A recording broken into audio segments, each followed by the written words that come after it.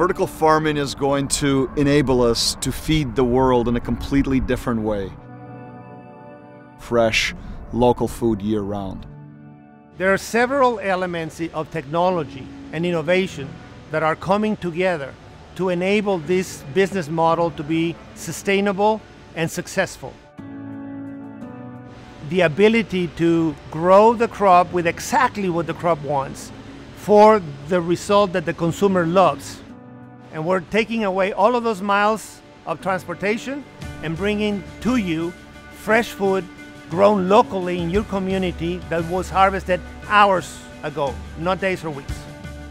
We have this closed data loop where we basically take all the data that we have that we are collecting during the growth process, environmentals, nutrition data, you know, from the fertilizers, um, lights, pretty much everything and anything that might affect the growing crops. And then we develop predictive models so we can correlate what we observe with our input variables. So I'm most excited about just just the just the quality of the product, you know.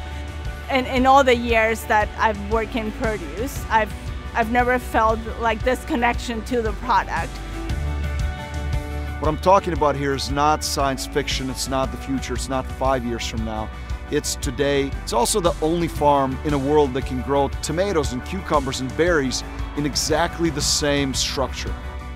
We are open for business. We're ready to go. We're ready to build farms in a community near you. So if you're wanting fresh local produce that tastes great and is pesticide free, is grown in a sustainable way, call us.